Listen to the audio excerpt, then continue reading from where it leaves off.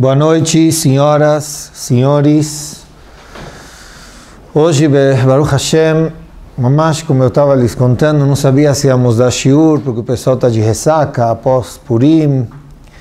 Mas, acho que o único que perguntou se iria ter shiur fui eu, porque já estava entendido que Pashut. Sim, vai ter, lógico.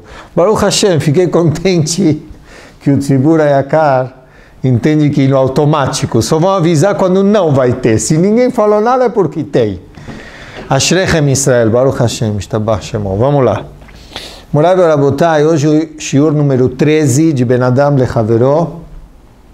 Vamos dar sequência ao shiur passado e Bezrat Hashem tentar finalizar esse assunto. Nós falamos em duas palavrinhas, o shiur passado, da importância de saber pedir uma verdadeira mechilá, uma verdade, um verdadeiro perdão.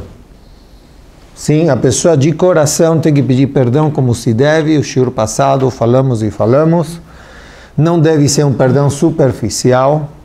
Isso ajuda em algumas condições em que a pessoa que foi afetada, ela vai conseguir me desculpar, eu vou conseguir o perdão dele. Quando ele vai ver que eu estou pedindo uma mehilá, um perdão de verdade, eu vou até ele, falamos que isso é obrigação, mesmo que ele sozinho me perdoa, eu tenho minha obrigação de ir e pedir mehilá, fazer o máximo até pagar, trouxemos algumas histórias, e também na hora certa, para não esfriar.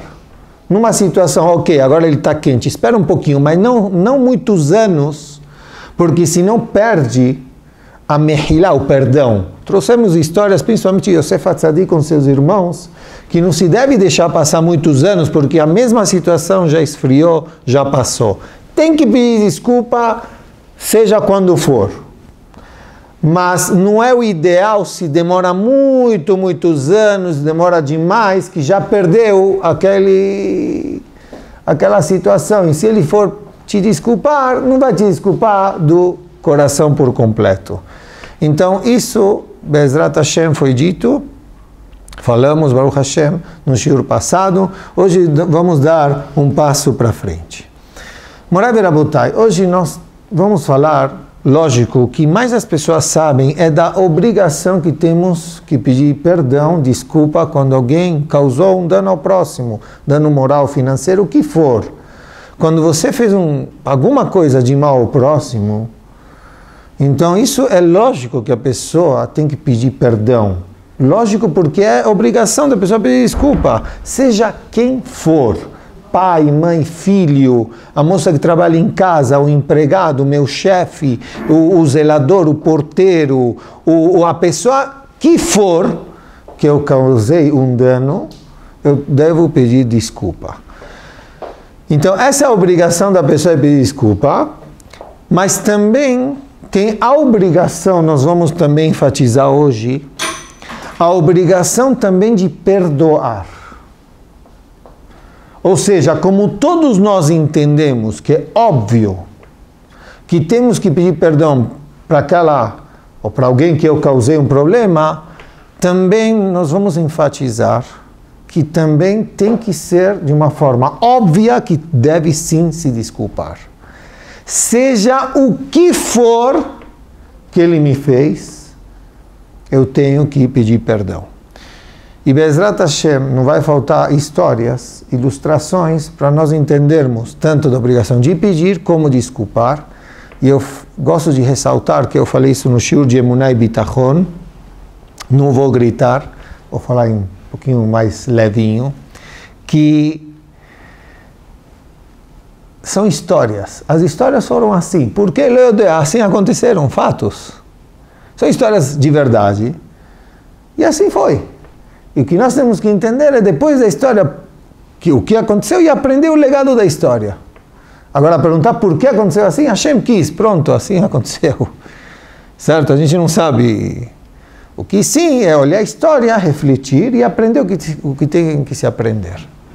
Isso é Aleph Bet. Então vamos lá. Eu gostaria de trazer aqui, começar com o Sefer Vigatá do Rav Galinsky Rav Shalom. Ele traz a Gemara em Yomá, do Talmud. Uma coisa muito, muito interessantíssima. Nós sabemos que o Talmud traz o seguinte limud. O Talmud diz, Averot sheben adam lamakom, yom kippur mechaper. Pecados, nós sabemos que nós, infelizmente, podemos cometer pecados entre eu e Hashem, ben adam lamakom, ben adam lechavero, entre eu e o próximo. Yom Kippur, traz o Talmud, assim diz Rabbi Lazar ben Azariah, Averot ben Adam lamakom Yom Kippur mechaper. Pecados entre eu e Hashem, exemplos, uma pessoa não cumpriu o Shabat. Sim, exemplos, tá?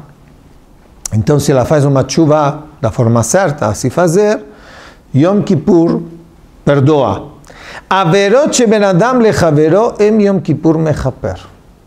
Se ele cometeu um, um dano, um problema, um pecou com o próximo, Yom Kippur não perdoa. Ou seja, a pessoa possa fazer toda a sua vida jejuar, fazer tefilá, rezar, balançar, chorar, gritar, e não pediu perdão ao próximo, e o próximo não perdoou, Yom Kippur não perdoa. Assim traz Rabbi Lazar Ben Azaria. Até aqui, Baruch Hashem, o Kaal sabe. Vamos mais um passo. Traz aqui o Rav, isso, algumas opiniões, tem quem discuta, mas vamos entender até onde é a gravidade do problema quando eu causo um dano ao próximo.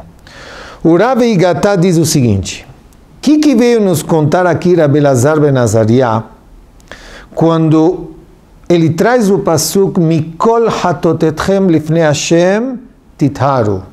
Em Yom Kippur tem um pasuk, muitas vezes nós falamos isso aqui, em Selichot, Seder Avodah, nós falamos que nós nos apresentamos perante Hashem, Lifnei Hashem titharu, e quando a pessoa se apresenta perante Hashem, ele automaticamente ele se purifica, é perdoado. É, uma, é um grande versículo que é dito no Yom Kippur várias vezes, que a pessoa se apresenta perante Hashem, Mikol hatotechem Hashem titaru. Perante, se se apresenta perante Hashem, e aí a Kadosh Baruch Hu purifica, perdoa teus pecados. Fala que o Rav Igatá, o que, que veio nos ensinar esse pasuk? Ele faz um vai e vem, mas eu tô agora vou direto ao, ao final do que ele menciona. Ele diz assim: Sheim yesh la'adam avonot shemen adam lechavero. Se uma pessoa tem pecados entre ele e o próximo, teluya kol kaparat avonotav, gam elu shenam kishurim leavon ze, bekach sheiratzet chavero. Ele diz o seguinte, se nós em Yom Kippur temos que prestar contas para Hashem, fazer chuva entre pecados eu e o próximo, eu com Hashem, só vai ser perdoado a parte de eu com Hashem se eu for perdoado da parte de eu com o próximo. Ou seja, tem um monte de pecados, infelizmente, que eu cometi com Hashem. Shabbat, comi coisas não kasher, tal, tal, tal, tal. E eu gozei da cara do Reuven. Eu faço tshuva Hashem, eu vou cumprir Shabbat, eu vou comer kasher, tal, tal, tal. E ainda ele não me perdoou, está pendurado. Hashem não me apaga o pecado de eu com Hashem.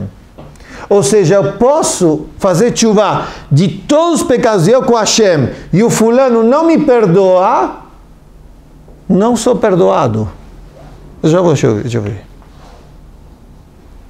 Não sou perdoado, ou seja, ou seja, eu dependo do perdão dele para ser perdoado total, para ter ficha limpa. Olha a força que o Reuven que eu tenho minha obrigação de pedir perdão, até mesmo porque ele traz aqui que uma coisa lógica. Se eu peco para o próximo, também estou pecando com Hashem. Então dizer que eu preciso do perdão dele para Hashem me desculpar da parte de Hashem, o que eu causei de mal para ele, isso é lógico. Mas aqui ele está dizendo coisas nada a ver. Ou seja, o cara comeu coisas não kasher fez avodazará, sei lá, fez coisas, e ele quer fazer uma boa chuva, e gozou de alguém, ofendeu alguém, não, eu não fui pedir perdão, não me desculpou, ainda não fui perdoado no meu Shabat e das coisas que eu fiz. Ou seja, olha a força que tem quando você causa um dano ao próximo, sim. E se o próximo que você causou dano já faleceu e não te desculpou? Então, a, alahá, a, a, a, a lei traz que se deve levar 10 pessoas no Bet Haim e pedir perdão para ele. E aí as pessoas que estão ao redor vão dizer, Mahulecha foi perdoado para você, foi perdoado para você, foi perdoado três vezes. Então, se vai até o cemitério, ou manda um shaliach, um mensageiro, às vezes está em outro país, tal, você manda. Isso, ó. E se a pessoa criar na cabeça que você fez coisa na verdade você não fez? Então aí você deve, você deve explicar e pedir desculpa. Às vezes a pessoa sozinha, né? Bom, tem que tentar mandar mensageiros. Às vezes, infelizmente, pessoas desenham coisas. Você tem razão. Então, com o tempo, você manda, ou você explica, ou manda outras pessoas para tentar explicar. É a única forma, tentar se expressar, explicar, ou você ou mensageiros. Você faz o máximo. Às vezes vale a pena você pedir desculpa, tá? Te ofendi, então você me perdoa? Ok. Então faz, faz você. e Não, Então-. Então, então você faz o máximo que está ao nosso alcance. A Torá não foi dada para Malach, foi dada para a pessoa. Você faz o que você consegue fazer para ter shalom, faça, aí Bezrat Hashem, Hashem vai te ajudar. Vamos lá? Então vocês estão vendo aqui, Rabotai, não é brincadeira. Quando você mexe com o próximo, ele mexe com tudo. Então você precisa do perdão dele para ficar uma ficha limpa, você com Hashem, você com o próximo. Então, olha só até onde que eu tenho que pedir desculpa do próximo. Isso é a obrigação de eu ir até ele para pedir desculpa para mim me, me sair bem, ou seja, de verdade. Não por proveito, me sair bem como tshuva. Entrar no bom caminho, quero estar bem com Hashem, com você, com Hashem, quero estar bem. Só que tem o Rav Chaim Palagi, nós vamos ver aqui, e outros, que ele diz o seguinte: agora a obrigação de quem está ouvindo o perdão, se ele deve desculpar. Ele diz, assim, eu vou ler as palavras que são bonitas, Shegam im pagubo shelo betzedek. Uma pessoa te ofendeu não justamente. E o que ele me ofendeu, ou me não foi uma forma, de uma forma forte e grave. O mutalo al piadim leakpit, e conforme a Allahá eu posso até ser minucioso e não perdoá-lo. Estão ouvindo? Até mesmo ser forte e não, da forma que ele me ofendeu. E eu não sou obrigado a perdoá-lo. Existe na Allahá, não quero agora entrar, mas situações, um dia vamos falar disso. Ah, ele deve pensar, diz o Rav, Lachshov que akashelo, o que, que causa o meu não perdoar ele? Gorem shelo yechupar davar ve'amonom ve'chavero. Eu causo ele não ser perdoado, nem em relação a mim, nem em relação a Hashem. Eu estou sendo um causador de ele se dar mal. E o Shulchan Aruch traz, isso é a linguagem do Rambam, que a pessoa que não perdoa é chamado de cruel. Ou seja, quem faz mal ao próximo não precisa falar, você sabe que ele é cruel. Deus Haruch vem te inovar que o quê? Uma pessoa que não perdoa, o, Código de Leis usa essa linguagem muito forte, Haruch não usa essa linguagem, mas lá ele usa. Ele fala que isso é uma característica de uma pessoa cruel. E se você é cruel com o próximo, Hashem vai ser cruel com você. Umidá keneged midá. Que Hashem vai ser cruel com você. Se você é cruel com o próximo. E automaticamente não é só um assunto particular aqui. Aqui a pessoa se não imagina a força que ela tem no clã Israel. Em relação a toda a Israel e toda a humanidade. Quando uma pessoa perdoa, o promotor no Rosh Hashanah Yom Kippur, a ser de Metchuvah, ele chega para Hashem dizendo o seguinte: Ó teu povo, Hashem, Ribono Shel Olam, você tem esse povo aqui embaixo, eles se comportam como anjos, eles estão limpos de pecados um com o próximo, eles perdoam, então Hashem, você deve perdoar esse povo. O Satan, o Mecatrek, está falando isso para Hashem. Quando?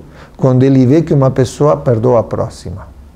Agora, lo aleno, o Levush traz, quando não tem perdão entre Am Israel um com os outros, vem o Satan e fala, esse povo agora é meu. ele fala para Hashem, Ribonosh Olam, eles estão chorando, pedindo perdão sobre os pecados. Eu não vou te dizer nada, Hashem. Só se comporta da mesma forma que fulano está se comportando com ciclano. E Hashem vem e fala, você não perdoa? Então não posso perdoar vocês. Hashem Ishmor. Ou seja, a pessoa não é só no particular, ele tem uma responsabilidade das costas de toda a Israel. E o Talmud em Shabbat diz, se meu companheiro, ele leva um castigo por minha causa, ou seja, que eu não desculpei, eu que causei isso, en machnisim otom michisato shel HaKadosh Baruch Hu. HaKadosh Baruch Hu vai dar um shiur, vai dar uma aula, Hashem vai dar uma aula, e ele vai ver que você quer entrar e fala, não, você fica fora. Por quê? Porque por você eu tive que castigar ciclano. Ou seja, a pessoa tem que fazer de tudo para não causar problema aos próximos. Tá, mas ele veio. Tá bom, mas você perdoa. A gente tem que perdoar no coração antes da pessoa pedir isso. Exatamente, a minha parte, obrigações, obrigações. Ele, ele tem que 100% vir. Agora estamos falando da minha parte, Limhol. Vocês vão ver as ilustrações e histórias que eu trouxe, Bezrat Hashem, vocês têm tempo. Exatamente, mas minha obriga... ele tem a obrigação de pedir. Se ouviu o shiur passado, ouça, então você vai ver, ah, vocês estão aqui, então vocês têm que ouvir que eu tenho a obrigação de pedir. Agora eu tenho a obrigação de perdoar. Agora estamos também do lado de perdoar. Cada um com sua obrigação. Não exigir a obrigação do próximo, e sim exigir a própria obrigação.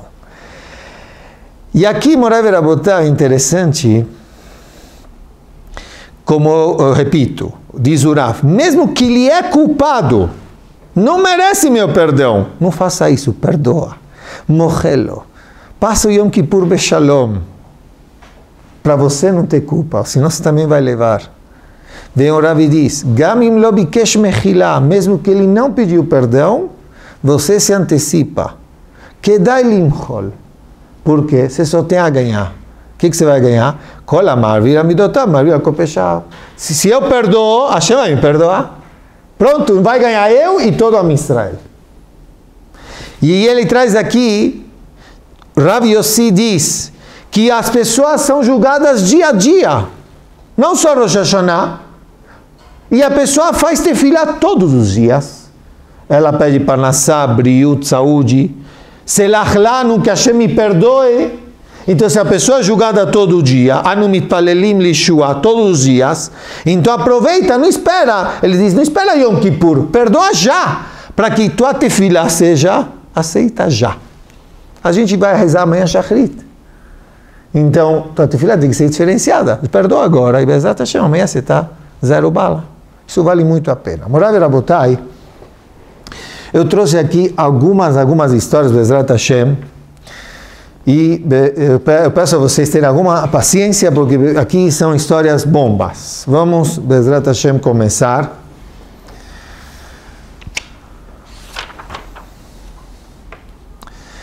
Com Ramos Feinstein, Alava Shalom.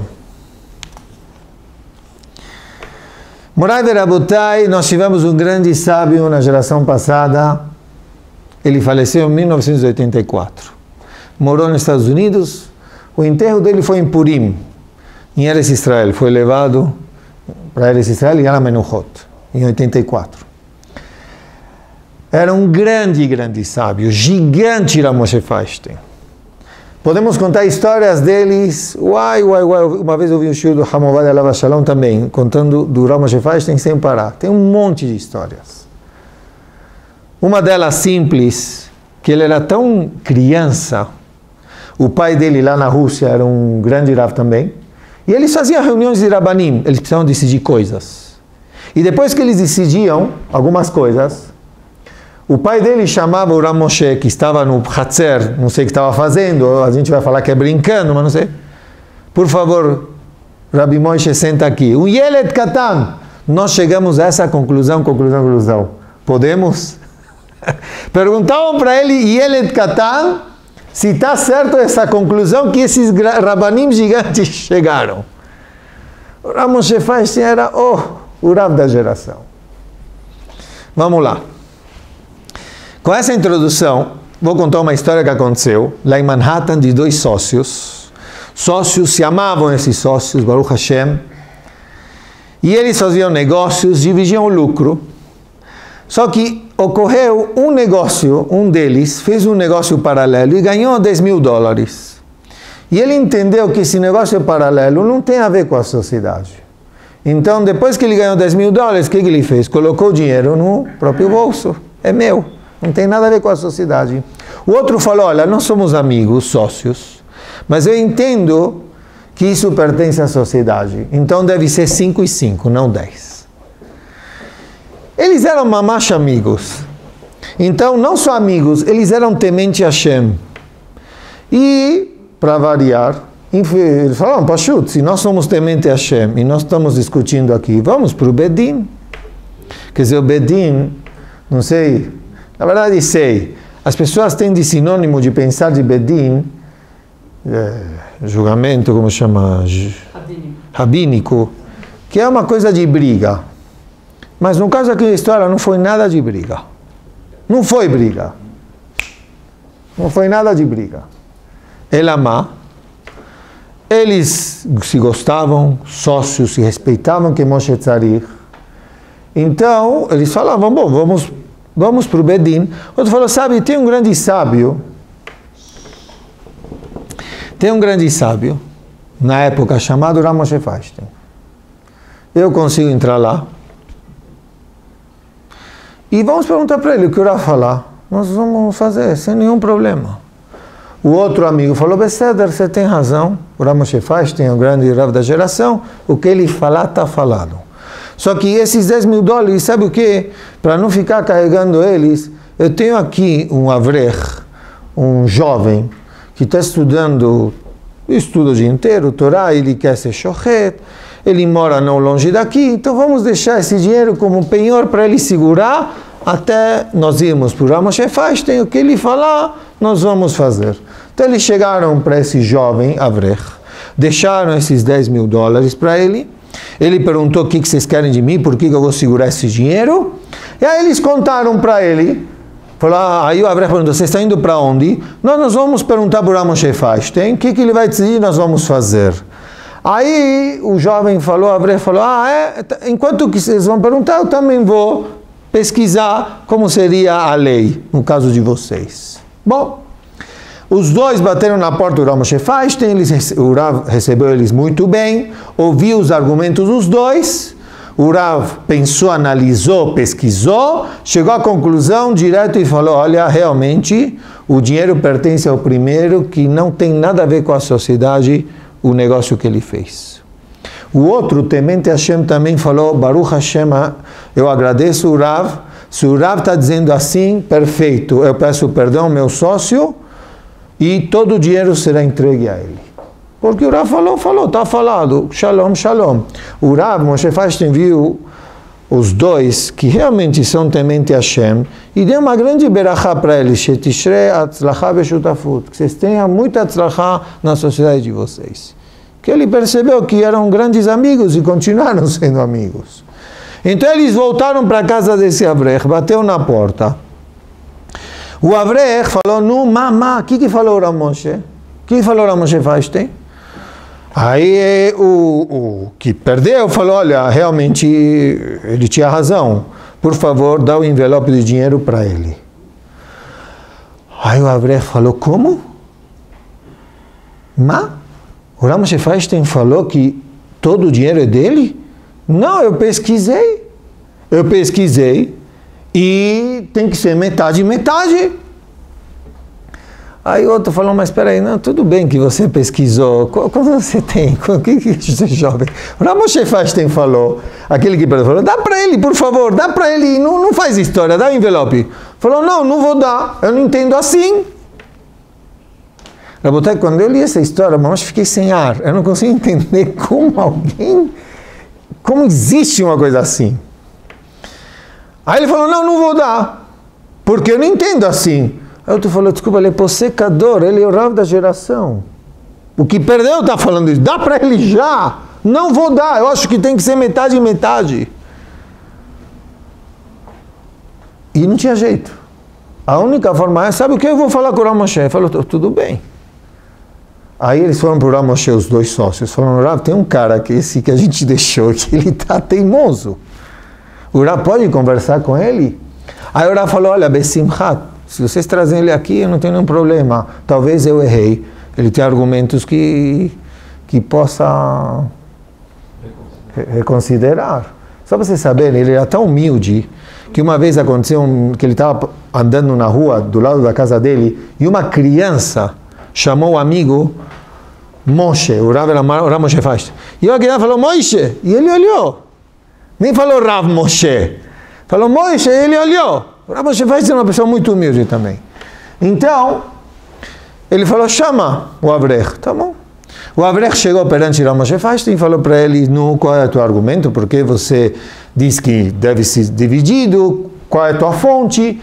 Aí, o sem vergonha, desculpa me falar, falou para o Rav, misvará, por lógica. O outro sócio falou: você não tem vergonha na cara. O, o Ramos Feinstein tem os códigos de leis de trás para frente, sabe ele na ponta da língua, todo o Talmud, todo o Rambam, tudo. E ele falando: não, pela lógica eu entendo que tem que ser metade de metade. Aí o Rav começou a, tranquilo, falou para ele é, argumentos de cor. Não, porque ele chegou a isso? Paciente, senta aqui, eu vou te explicar, no Talmud, no Rambam, no Shulchan Aruch, tal. Aí, o aluno falou, tudo bem? É, o Rav perguntou para ele, tudo bem? Rav, me desculpe, uma caneta, um lápis, eu vou anotar. E depois eu vou voltar para minha casa e eu vou verificar as fontes. Os sócios não sabiam nem se enfiar. Como vocês estão sem vergonha? Existe, existe. Aí ele voltou para sua casa e aí ele concordou e ele falou que realmente Bemicreze, nessa situação, o Rav tem razão. Shemishmor. Aí ele deu e ficou aquela pessoa com todo o dinheiro. Bom, a história não terminou. Depois de três semanas, passou os Hagim e tal, bate na porta quem na casa? Esse Avrech que ele, Baruch Hashem, estudou as leis de Shechita e ele conseguiu emprego naquela cidade lá nos Estados Unidos, só que disseram para ele que só vai ser aceito se ele tiver uma carta de recomendação de prova do Ramon Feinstein. E o senhor pode escrever para mim. O Rav abriu a porta, falou Beratzon, com, com prazer, conversou com ele, viu que ele realmente ele sabia as leis de Shechita, escreveu a carta, deu para ele tchau. A família que estava do lado, atrás, falou, Ribono Shelolam, Abba, Saba, Rav, que isso? Um sem vergonha como esse? Como você aceitou ele? Ezo uma pessoa que não tem vergonha, ele se tratou assim com o Rav faz três, quatro semanas atrás, e ainda ele vem pegar uma carta de recomendação e o Rav dá assim? Emet. Hayá Raúl outro eta dele, o Rav deveria fechar a porta dele na cara. Como o Rav aceitou ele? O Rav fala, Emet, vocês têm razão. Não, então por que o Rav escreveu? Falou Pashut, faz três semanas que, que era Yom Kippur, não era Yom Kippur? Muito bom. Nós lemos Tefilat Zaká, não era Tefilat Zaká, uma tefilá que se faz antes de Kal Nidre. E lá está escrito taxativo, que o quê? שאנחנו, כי nós, מוחלים במחילת גמורה לכל מי שחטא נגדנו. Que nós perdoamos de uma forma plena, zero quilômetros, aquele que nos pecou contra nós, aquele que nos causou um dano contra nós. Eu fiz essas tefilas acá, falou Ramoshe Feinstein. Então, se passou Yom Kippur e essa história foi antes, então eu perdoei por ele por completo. Então ele merece minha carta de recomendação. Eu não guardo absolutamente nada. Ou seja, Rabotai, não existe falar e sentir outra coisa. Quando fala que perdoa, perdoa de verdade. Ramoshe faz. Tem uma história parecida do Rav Yosef Chaim Zonefeld. Também um grande sábio gigante também em Jerusalém que viveu no começo de 1900 ele tinha um bedin E veio no Bedin uma grande briga de um marido com sua esposa. E o Rav, com seu Bedin, deu merecedor ao marido. Só que a família da esposa ficou uma fera e não parou por aí. Depois do Bedin, foram atrás do Rav na casa dele para acabar com ele, ameaçar ele, tudo do pior. Não deixavam ele em paz. Pessoas não tinham vergonha, é triste, né? Bateram na porta dele, gritavam dele. A esposa dele começou a chorar, as pessoas da família começaram a chorar. E o na dele, estudando, olhando para eles. Só que chegou uma hora que já deu. E o Rav levantou do lugar e falou o seguinte: Posso levantar um pouco a voz? Senão não tem graça a história. Shimuna, me ouçam. O que, que eu tenho para falar para vocês? Assim, aí todo mundo silenciou. Rav levantou e falou da seguinte forma. Se, você se vocês têm razão, que vocês não aceitaram o nosso veredito no Bedin, vocês têm razão, eu e os outros Rabanim erramos, então automaticamente esse julgamento nós damos para o Shamaim para Hashem, Vashem atov yechaper badenu, e Hashem nos desculpe e nos perdoe, que elo la dayan elamashenavrot, porque o dayan, o juiz, ele só julga conforme o que ele vê. E é isso que nós vimos, ouvimos, e assim foi o veredito. E se erramos, que Hashem nos perdoe, e Hashem vai fazer a justiça verdadeira. E matzedek itanu, mas se nós temos razão, e o julgamento foi certo, e o veredito foi certo, então, imagina a situação como o pessoal se sentiu, hein? Era um gigante, o tzadik. E aí ele voltava, então. Aí ficou um silêncio, como vocês estão aqui. Aí ele repetiu as seguintes palavras. Imomnat Sadak do Bedineno, se nós temos razão no veredito, eu aviso todos vocês que eu perdoo Bemechilá Gemurá um perdão completo de todo o sofrimento que vocês causaram para mim e para minha família. E eu abençoo vocês, que vocês sejam inscritos e carimbados no livro da vida Lechaim Tovim Shalom. Chegou um Rav que estava do lado, eu não entendo, Rav. Eles acabaram com você e sua família. O mínimo que eles deveriam fazer Agora está chegando Rosh Hashanah e Yom Kippur. Então deixa eles com, com peso de consciência. Eles vão refletir. Deixa com a mágoa.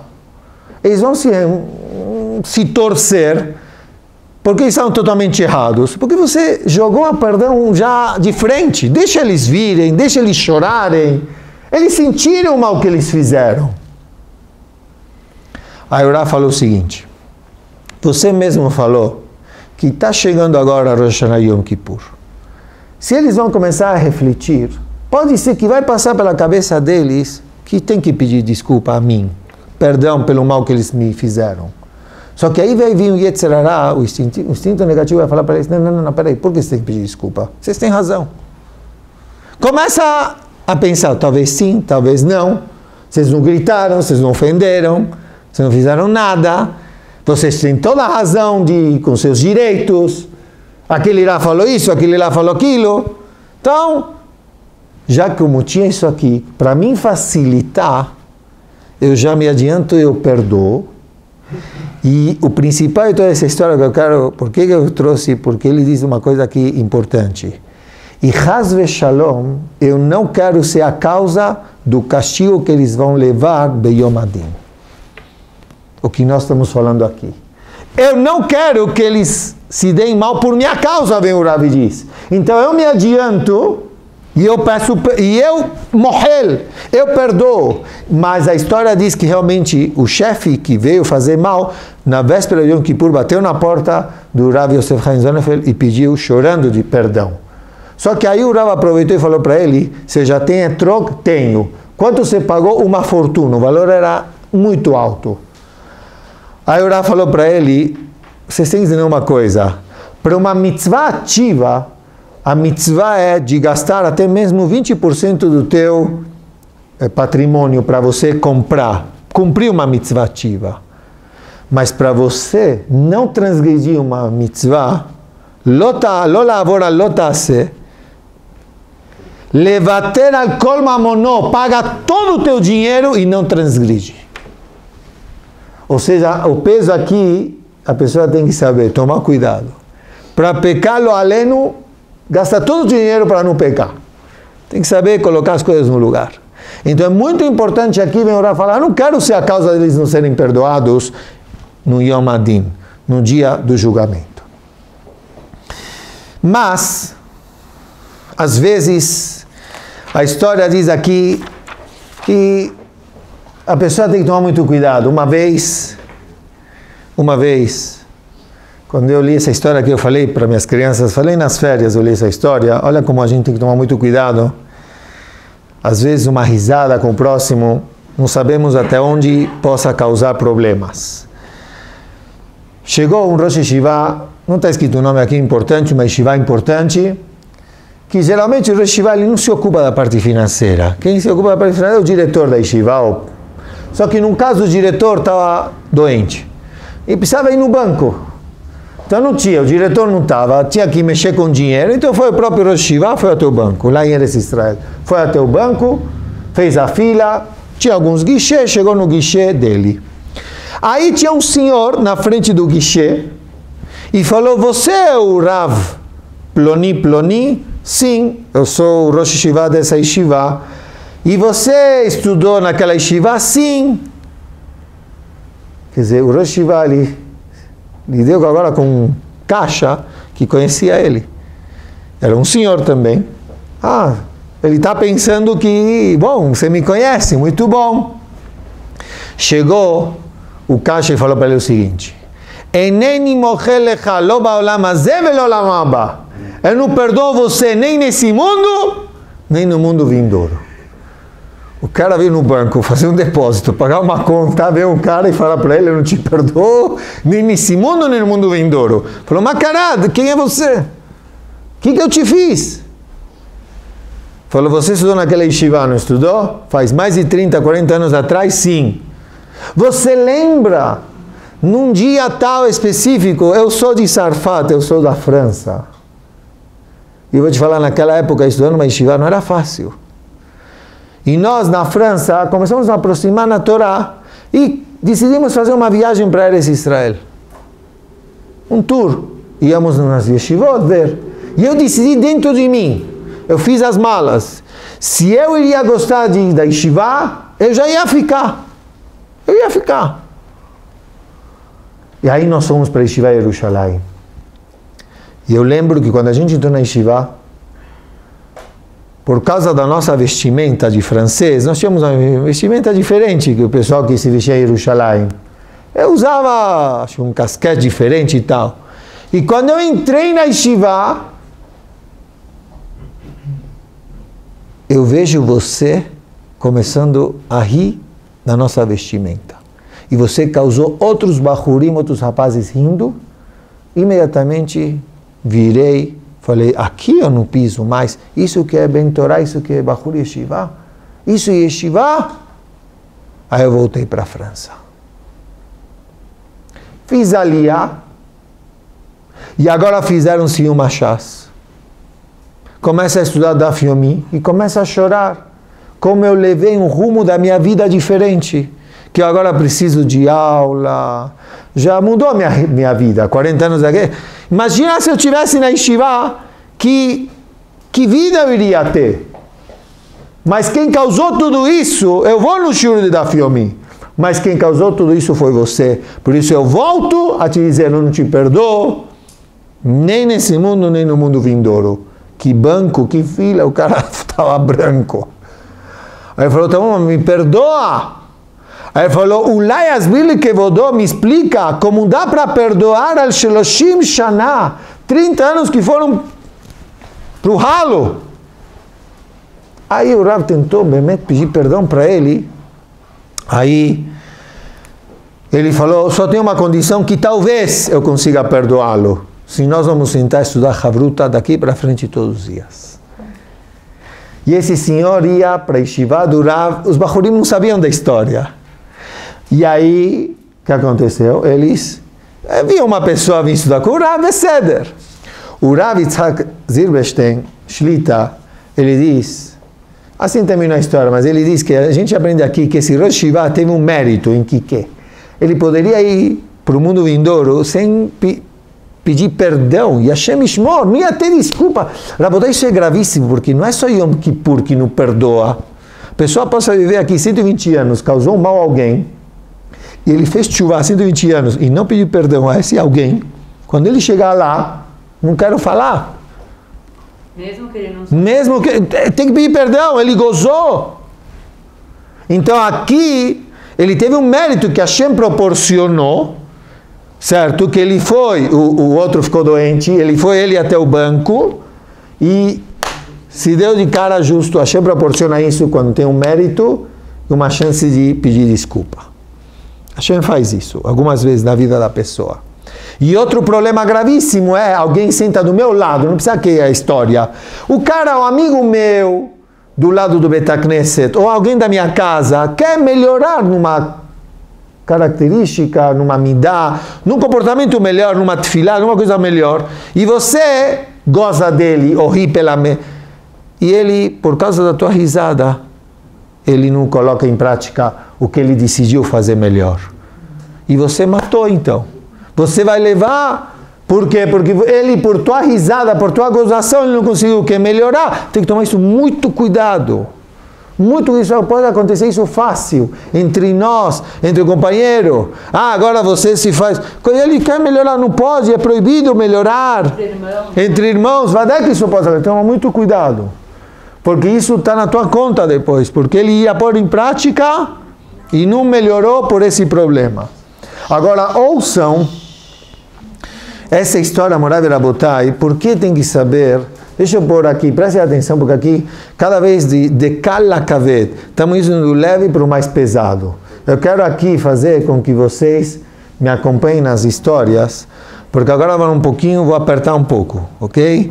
E eu quero que é tão importante a pessoa perdoar de verdade. Tem vezes, tem muitas vezes, que a pessoa vem te pedir desculpa e você fala: Não, não, você não me causou nada, tá limpo. Eu perdoo, eu perdoo, me lê mala por cima. Não, não, não. O que acontece? Porque às vezes eu tenho vergonha, então eu sou orgulhoso e eu não quero ouvir que ele me causou um dano. Então eu falo para ele a seguinte coisa: Não, não, você não fez nada, está tudo ok.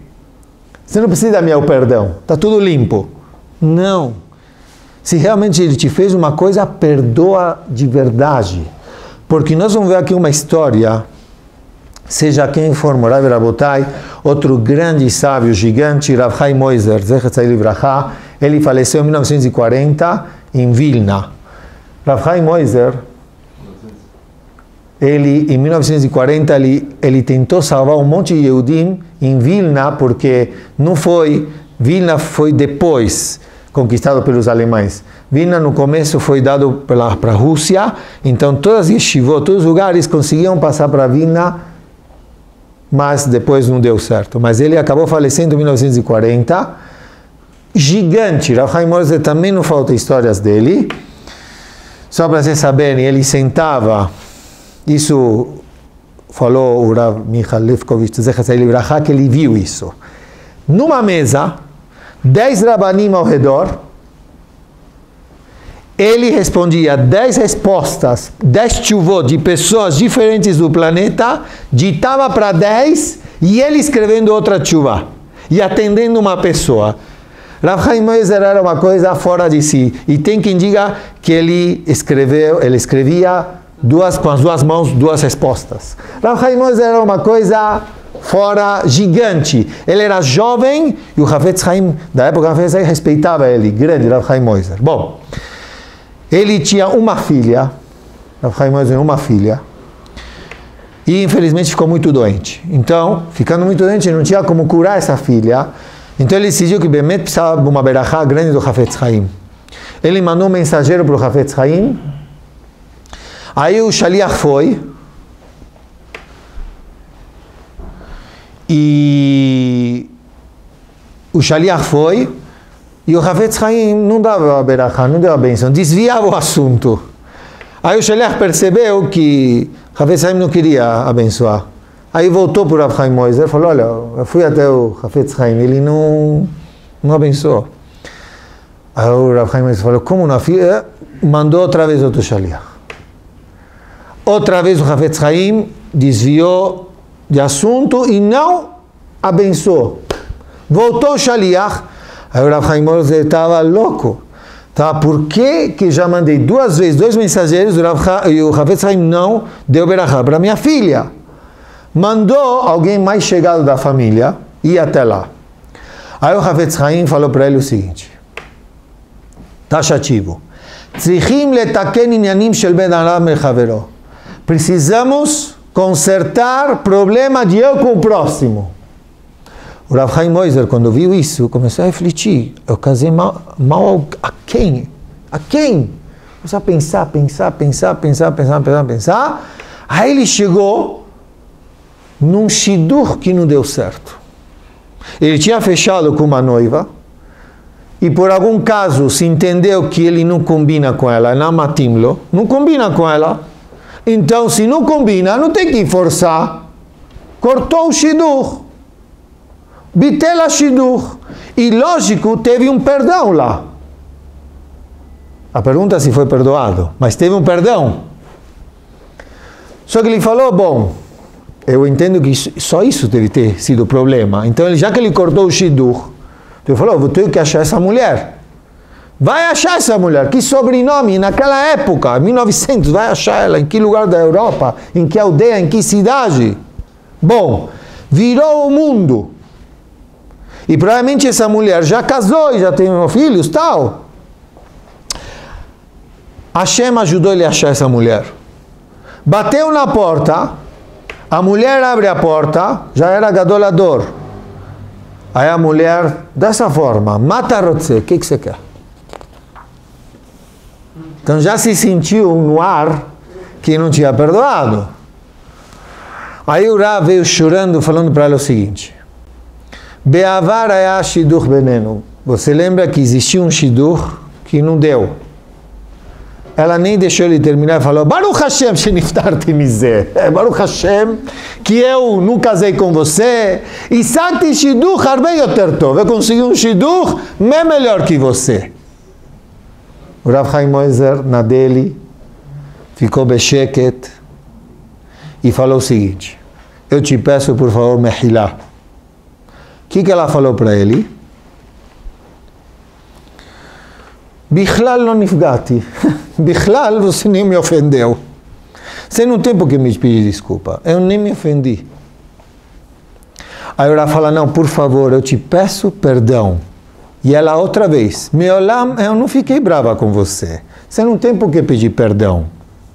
E o Rav tentando e ela seguindo esse caminho.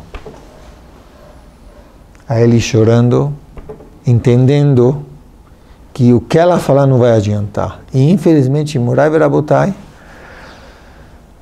quando ele voltou, ele chegou para a Levaiá da única filha que ele tinha. A única filha que ele tinha, ele chegou para Levaiá. Vem o Rabi e diz, não deve se falar quem foi ofendido de verdade, porque às vezes eu não estou afim de ouvir ele. Lo você não me ofendeu. Lo tzarich mechilá, não precisa de perdão. Em nan mechilá, não aconteceu nada. Não, aconteceu e perdoa. Porque o perdão tem que ser 100%. O Rav aqui chorou e não conseguiu perdão para deixar sua filha viva. E assim ele consolou o Rav Shach também. O Rav Shach, Alava Shalom, tinha uma filha que tinha falecido e ele consolou assim, falando, se não fosse a Torá eu já ia estar e ele perdoou essa mulher? É, provavelmente. Agora, de, já como tem que perdoar de verdade, encaixei aqui uma história que realmente possa nos tocar. Rapidamente eu peço a atenção de vocês. De um casal jovem que casou, mas não tinha uma oportunidade de dinheiro, então alugaram uma casa pequena só que eles vão comprar móveis. Quantos móveis? Precisam um ou dois móveis. E começaram a fazer orçamento em mil lugares. Até que acharam exemplo do nome da história, não é, o nome não é verdadeiro, o Rav Kalman. Então, esse Rav Kalman, ele fazia encomendas de móveis. O que, que eles precisavam? Um sofá. Ok, esse casal, Baruch Hashem, não tendo nada de dinheiro, conseguia é, encomendar um sofá com esse Rav Kalman e aí chegou o dia da entrega e a, a moça, o marido no colégio, a moça abriu a porta, começaram a montar o sofá. Só que infelizmente quando terminaram, terminaram o sofá veio Akman Nefesh, uma angústia tão grande para a mulher, por quê? Porque na hora da encomenda eles encomendaram uma cor. E quando chegou, chegou o quê? Outra cor. E não só isso, diz aqui que eles levaram um exemplo de cor para quando foram comprar o móvel, que essa cor combina com outra móvel que tinha lá na sala, e ainda vem e me encaixa outra cor, e não parou por aí. Aqui diz que o móvel dançava, que os pregos não eram tão bons. E, e a cola da madeira, as manchas da cola ficava aparecendo. Então a Isha ficou nas nuvens, nem esperou ele voltar. Quem está contando essa história é o marido. Não esperou nem ele voltar para o colel. Imediatamente ligou para o Rav Kalman e falou para ele: Olha, não foi isso que eu encomendei. O Rav Kalman, ouvindo, ouvindo a reclamação, falou: É, mas sabe o que deve ter acontecido? Eu realmente encomendei. Eu tenho um marceneiro X, mas provavelmente esse marceneiro Fulano ele estava super é, ocupado e ele deve ter passado para outro ciclano. E esse ciclano deve ser uma pessoa, um marceneiro que não tem experiência, e esse é o móvel que chegou para você. Aí a mulher falou: Peraí, escuta aqui. Eu comprei de você. Eu quero o sofá que eu encomendei, essa cor, e pronto.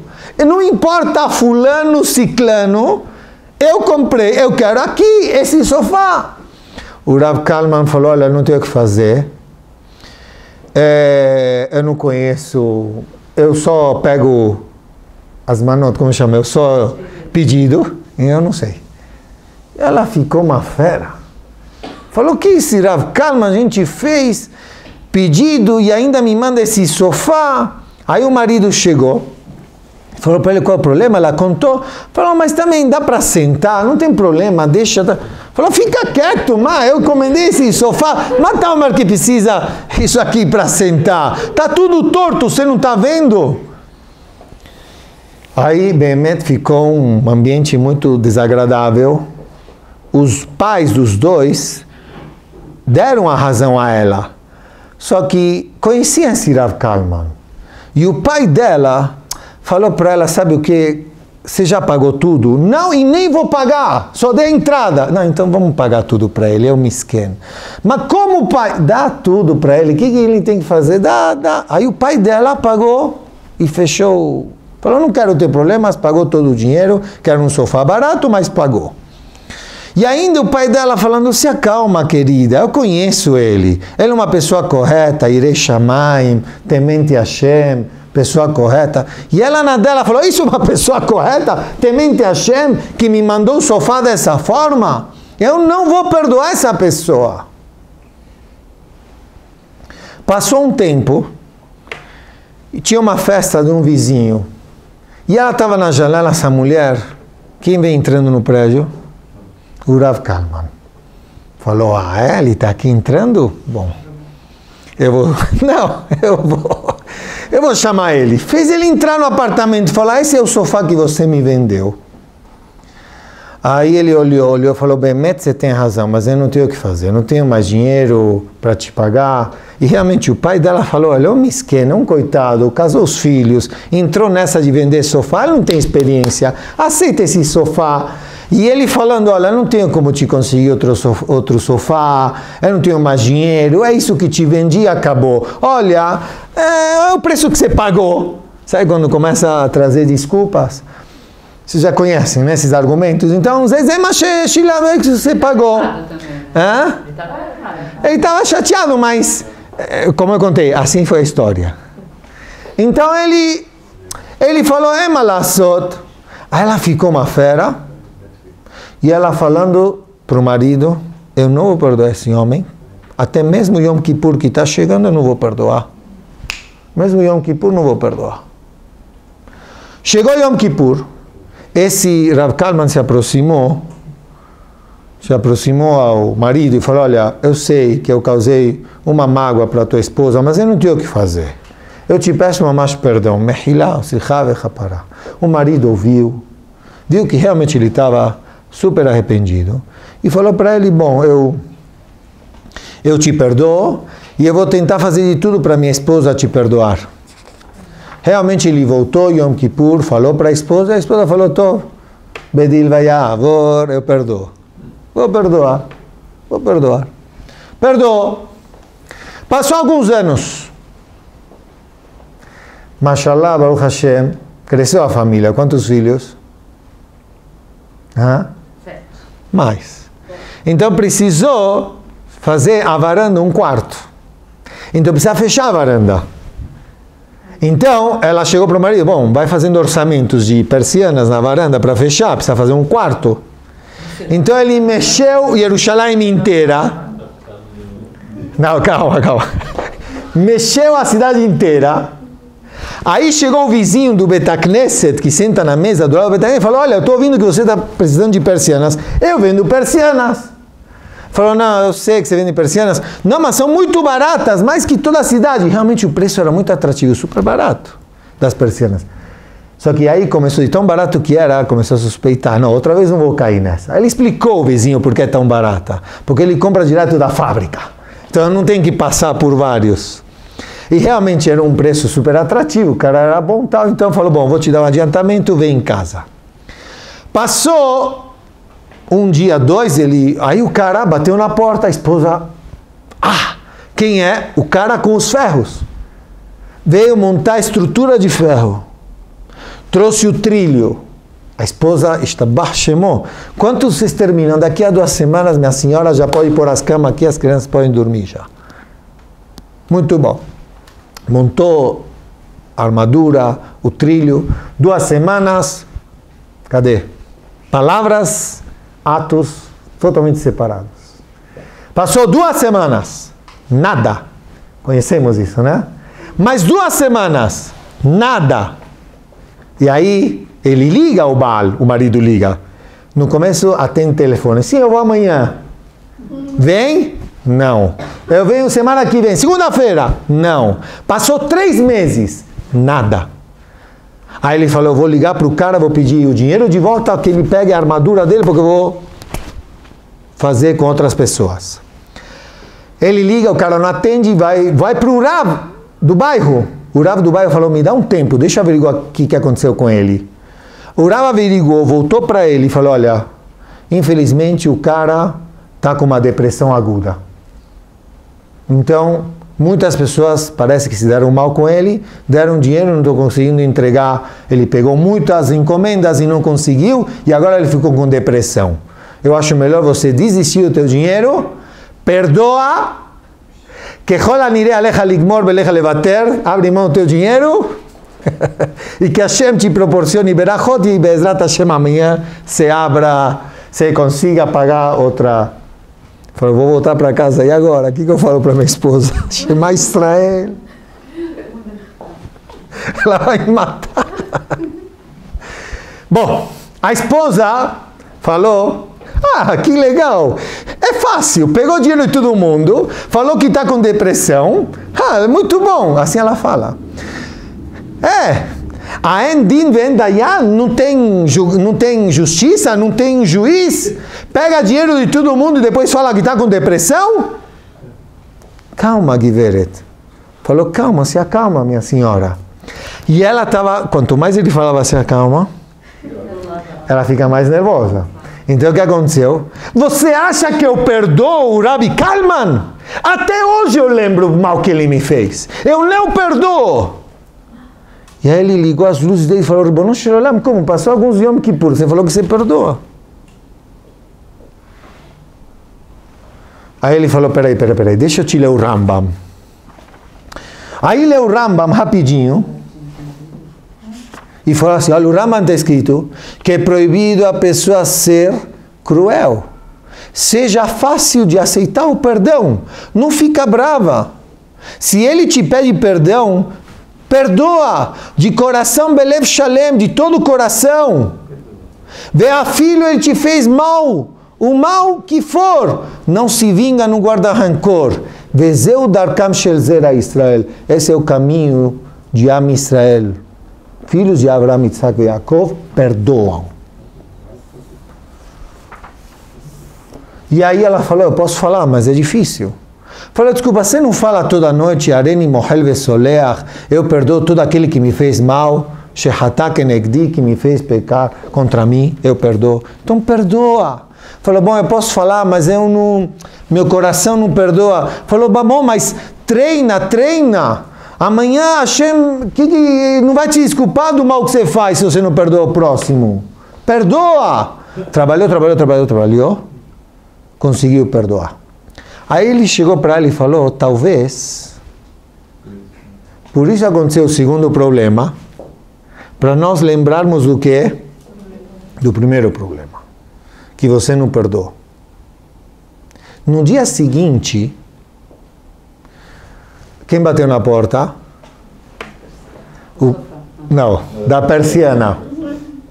O cara da persiana apareceu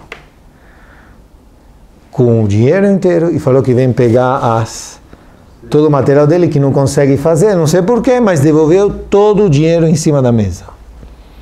Ele foi para o Rav falando que devolveu. O Rav falou: Olha, mamash muzar, super estranho. Pelo que eu vi, ele só devolveu para você, para mais ninguém. E ele pensando, certeza que foi um mérito de ela ter perdoado a primeira história.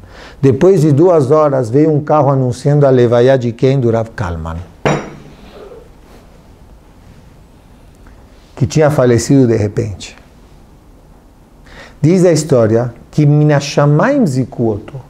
Que Minashamaim, certeza que deram um mérito para esse Rav Kalman, que estava esperando ele partir para outro mundo, esperando o perdão dessa mulher. Nada é por acaso. Reservei aqui vocês têm a última história. Tem tempinho? Vale a pena, vale a pena. Essa última história. Morai Verabotai.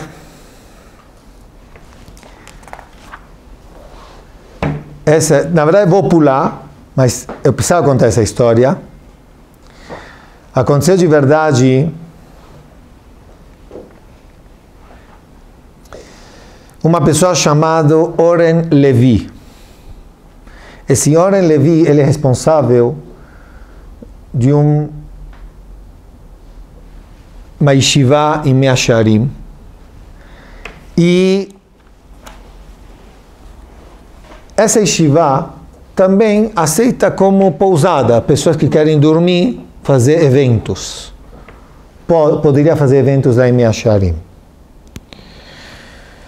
Quem contou essa história foi o próprio Oren Levi, recentemente, que faz 17 anos atrás, no março Shahor, era chamado, que aconteceu uma intifada outra vez, ele conta a seguinte história. De um dia para o outro, ligou uma senhora que fez chuva do norte de Israel, que quer fazer com seu filho que venha fazer o bar mitzvah em Jerusalém. E sabia que tem alguns quartos lá em Meacharim. A família não era nada religiosa. A única que fez chuva foi essa senhora. E ela queria trazer seu filho, fazer bar mitzvah em Jerusalém. E tinha quartos em Meacharim. E arrumou que todos os familiares iriam passar Shabbat lá em Meacharim.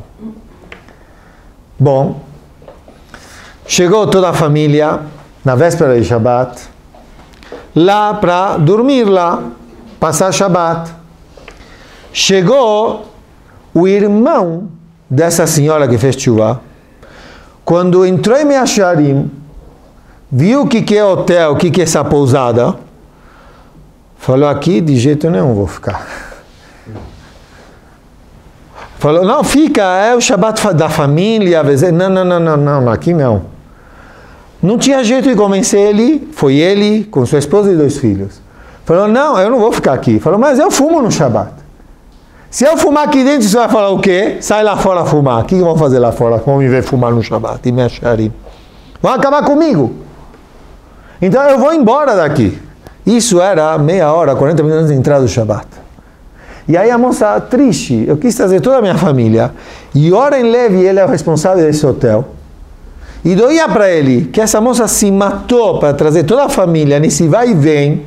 E eles combinaram que ia fazer passear em Meacharim, no Kotel, andando, tudo bonito, iam para Tish, dos Rebes, ver os Hasidim e tal. E aí, esse homem bateu a mão e falou, eu vou embora, não vou ficar Shabbat aqui. Pegou as crianças, pegou a esposa, colocou todo mundo no carro, de repente ele vê no vidro retrovisor atrás, quem está sentado lá atrás, do lado das crianças? Um Ore Levi. Pegou o cinto e colocou. Olech. Onde você vai, eu vou também. Eu não vou descer do carro se você não desce também. Aí, esse senhor Levi falou que o cara falou: é, eu vou começar a andar, ele vai pedir para descer. O Warren Levy falou: eu vou dar minha vida para essa mulher. Como ela quis fazer com toda essa família passe aqui. Shabbat. E o cara começou indo. Ia pegar o, o, a estrada que vi Shechat. Ia pegar. Aí ele começou a falar, olha, é a única irmã que você tem, um bar mitzvah, um Shabbat, não volta os bar mitzvah, que você, porque você não volta. E daí? É um Shabbat, é uma noite só, vai ser legal, vai, a comida é boa, nós vamos para o cótel, vai ser super legal. Mexeu nos sentimentos do cara, o primeiro retorno o cara voltou, voltaram 15 minutos antes de começar Shabbat, começaram, arrumaram tudo, sexta noite foi linda, Shabbat de manhã, Kotel, Tish, Hasidim, foi um Shabbat lindo, todo mundo falando Baruch Hashem, estamos todos juntos, Baruch Hashem que você me fez voltar, Baruch Hashem, Baruch Hashem, Baruch Hashem. Nada, foi super lindo, super lindo todo o Shabbat. Chega no Motzei Shabbat, aí cada um tem que devolver as chaves. Então, esse Oren Levi anotando no guichê lá, quem está devolvendo a chave, chega um homem, certo? E aí está vindo a esposa do Oren Levi com um bakbuk de yain, com uma, uma garrafa de yain para fazer Abdallah para todo mundo. Chega um homem, certo? E aí ele falou para ele, você está sozinho aqui? Você veio sozinho? Eu falei, sim, eu vim sozinho, só eu fiz chuvá, minha esposa não fez chuvá, mas Bezrat Hashem, um dia que ela possa voltar como eu voltei. A esposa dele trazendo uma garrafa de vinho, de repente, Morai Verabotai, pá, uma bomba, infelizmente, de alguém fantasiado como Haredi, teve nesse atentado 11 mortos e 60 feridos.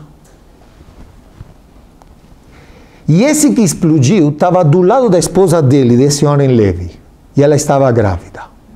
Ele diz aqui que aconteceram quatro coisas e ele menciona, eu vou dizer para vocês. A primeira ele diz que a esposa dele estava grávida. Ele diz que de repente ele viu um balagano, uma bagunça e ele conseguiu ir com a mesma ambulância com a esposa. E aí o paramédico falou: Olha, minha, que, minha senhora, você está grávida, esquece. Provavelmente esquece.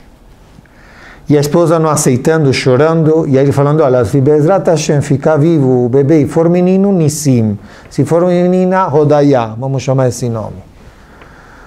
Aí foram no hospital, fizeram todos os exames e realmente Baruch Hashem, a criança estava viva e o doutor falou, não sei, vocês têm um Deus especial.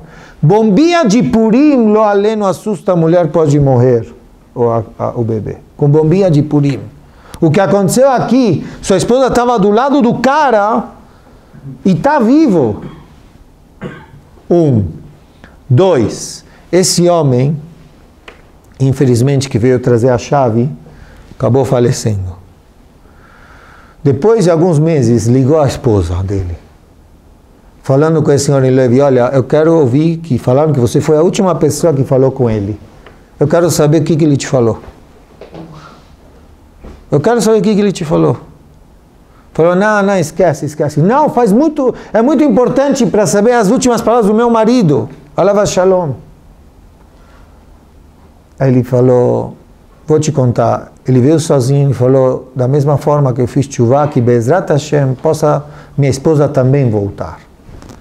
Ela chorou, chorou, chorou e hoje ela voltou e Baruch Hashem casou de volta, mora em Benebrak. Três. Que aconteceu com a família? Que ele fez voltar. Morai verabotai lo alenu velo alechem. Aconteceu uma coisa também fora do normal. Um filho que estava já no carro, sim, distante dessa bomba, acabou falecendo. O outro filho, que a mãe estava segurando no terceiro andar, também acabou falecendo. Quando Oren Levi, ele soube disso aqui e foi liberado no hospital, ele falou: acabou minha vida.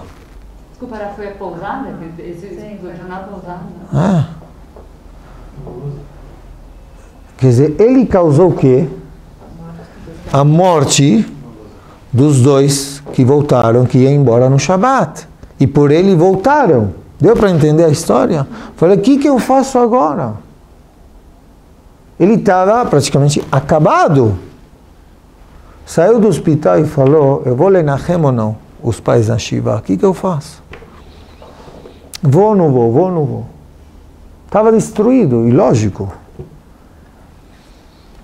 Aí Morai Rabotai, ele decidiu ir. E no meio do caminho, fazendo tefilá, Kadosh Baruch Hu, coloca no coração desse pai que possa me perdoar. Eu sei, não sei como, mas como vai me perdoar? Eu fui teimoso. Eles iam embora na véspera do Shabat. E eu fui teimoso, fazer eles voltarem.